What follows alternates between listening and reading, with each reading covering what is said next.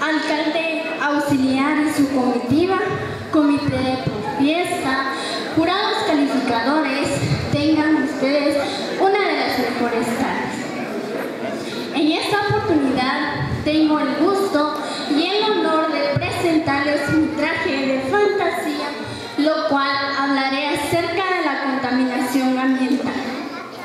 Los seres humanos somos los responsables de uno de los principales y mayores ambientales.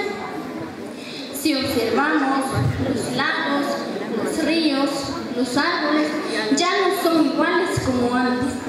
Por eso hay que reciclar, recolectar y reutilizar productos de vidrio,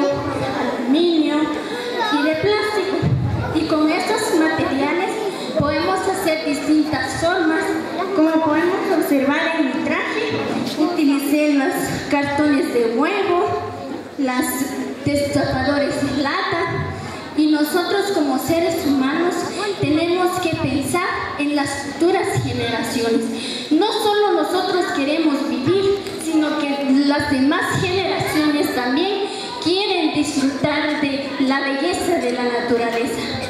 Por eso, que se nos quede en la mente todo lo que se vaya a estar diciendo acá y lo pongamos en práctica. Muchas gracias.